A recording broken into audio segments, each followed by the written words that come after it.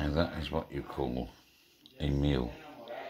That is a proper Cornish pasty all the way from Cornwall thanks to Miss Rosie, Mrs. Rosie Hunt and her husband. They have come all the way from St Ives and they brought it along all the way to Benidorm for me. Thank you very much guys. Make sure you're following Mrs. Rosie Hunt. I will put a link in the uh, in the video for it, so make sure you're following.